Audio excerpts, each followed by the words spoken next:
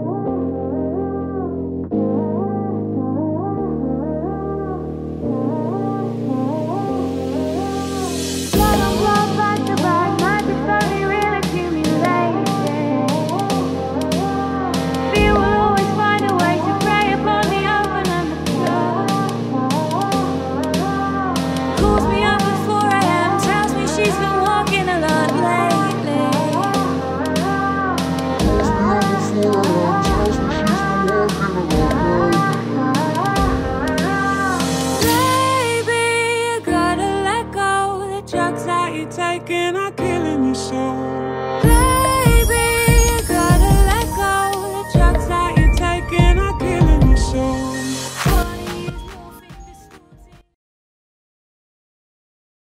that I'm at an all-time